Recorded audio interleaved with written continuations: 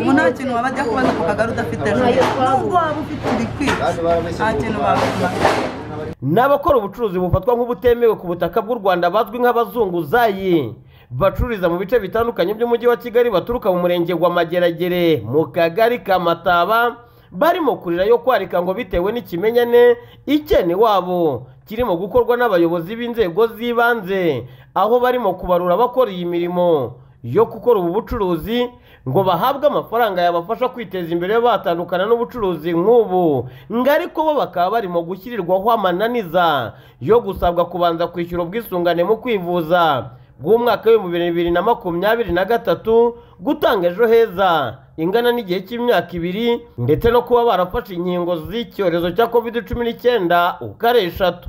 Hari amafaranga yasohotse agomba guteza imbere abakarasi. Twebwe twagiye ku murenge baratwandika barangije kutwandika baratubwira ngo ibintu ngo birapfuye ngo nidutahe bizakorerwa mu midugudu. Tugeze mu midugudu baratubwira ngo kuwa gatanu nitujye mu nteko batwandike. Tugeze mu nteko umudugudu araza aratubwira ngo icyitonderwa hari itangazo ryasohotse. Atubwira yuko umuntu utarishyuye mituweli ya bibiri na makumyabiri na gatatu. Atagomba kubona ayo mafaranga. Arongera atubwira yuko umuntu utarishyuye ejo heza ngo yizigamire imyaka ibiri. Atagomba kubona amafaranga. Yongera atubwira yuko umuntu udafite inkingo ebyiri za kovide atagomba kubona ayo mafaranga. Sinibaza nimba mu yindi mirenge cyangwa niba perezida yarasohoye amafaranga mu gihugu ngo afashe abantu batubwiye yuko ari amafaranga ngo umwamikazi yazanye mu gihugu yo kugira ngo iriya nama izabe nta mukarasi ukiri mu muhanda. Ateze imbere abagore. Banabivuze no kuri radiyo ahantu hose barimo barandika. Ni ukuvuga ngo ayo mafaranga igihugu cyarayatanze. Ahantu hose barandika. Ayo mafaranga ni igihugu cyayatanze kugira ngo bakore akajagari mu muhanda umuhanda use neza tutazunguza mbese buri wese agera aho ajya kwicara agera aho yicara acuruze akajagari gacike n'abashyitsi batazaza bagasanga twikoreye udutaro turasana mu muhanda. Ikigomba gukorwa ni uko mwatuvuganira ubuvugizi ntabwo umuhanda tuwifuza kuko umuhanda si na mwiza. Si mwiza kuba twirirwa mu muhanda tugafungwa tukajyana kwa kabuga tukambugura ibyo dufite. Ntabwo ari uko tubikunze. Ntabwo tubikunze. Ariko ikibazo ko leta ishaka kudufasha ngo iduhe ubufasha tuve mu muhanda. Inzego z'ibanze zacu zikabyanga.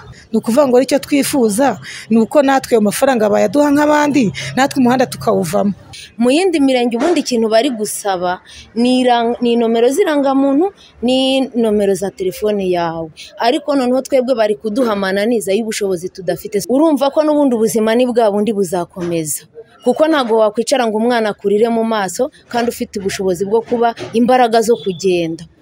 Uzagenda n'ubundi ubwo uko bizaba ntabwo ubwo n'imana ibizi twebwe nta kindi kintu twarenza hakwibazwa nimba koko aya makuru yaba ari impamo aba baturage bakirirwaho ayo mananiza kugira ngo babarurwe ibyatumye tuvugana na napoleon nsabimana umukuru w'umudugudu wa karambi mu kagari ka mataba nawe ashimangira ko kubarura aba bazunguzayi birimo gusabwa koko ibi batangaje akaba ari amabwiriza bahawe n'ubuyobozi bw'aka kagari ka mataba. Ikisabwa ni uko umuntu yakagombye kuba yizigamira muri ejo heza.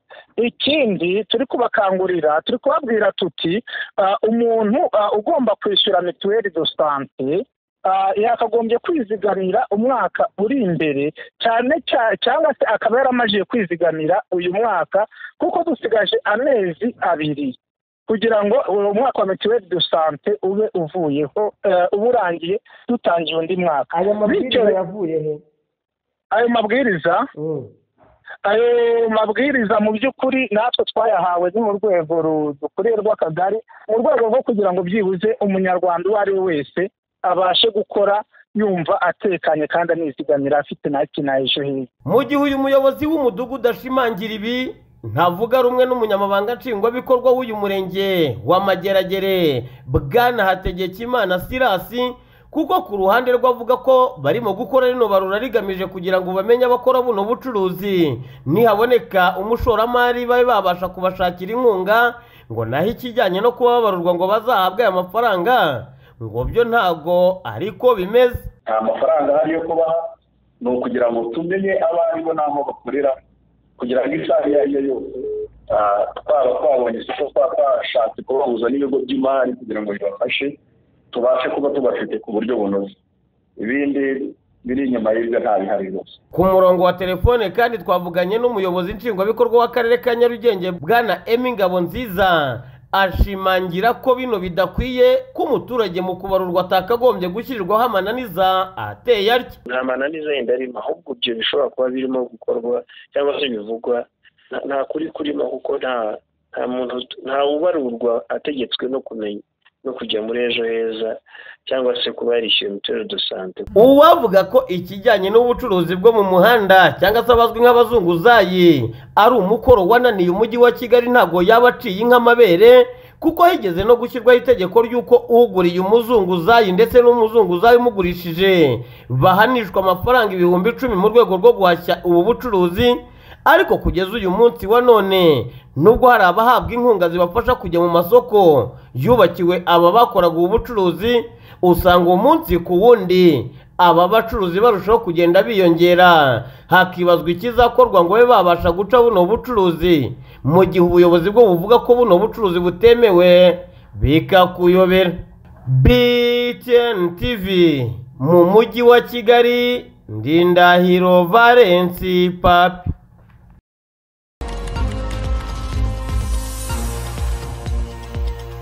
Abana banjye bakabona aho baba ntibagumye kwangara. Ni ukwihagarika mu kadobo byaba ari ibikomeye byaba ari ibyoroshye kuko urabona ko twarangiriramwo nta muntu ubasha kugira ni Musabyimana Gororiyoza uherutse gutangariza BTN TV ikibazo yagize ngo nyuma yo kurokoka jenoside yakorewe abatutsi mu gihumbi kimwe magana cyenda mirongo cyenda na kane ubwo yaje gutabarwa n'inkotanyi akaza gutura muri Kicukiro hano mu murenge wa Gatenga ngo ariko nyuma yaho ubufasha bwose bwatangwaga n'uyu murenge ngo ntibabashe kumwibuka. Yongera atangariza BTN TV ko abaturanyi be bagomeza kugenda bamuhohotera bamutoteza bya hato na hato kugera n'aho ngo mu masaha ya nijoro bamuteraga amabuye ngo ndetse n'ubwiherero yifashishaga nabwo bakaza gufata ipiki bakaburimbura nk'uko yabidutangarizaga icyo gihe. Saa munani navuye aha ngiye gusenga ngarutse wese nyisize ari nzima nsanga bayikubise amafuni bayiroboye gutyo.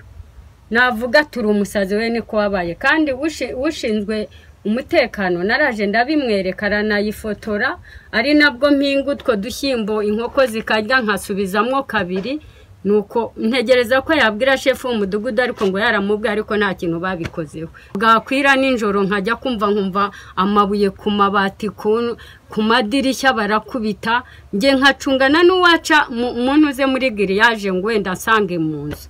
Nasabaga farije ngewe ko yampa inzu y'abana kugira ngo babemo.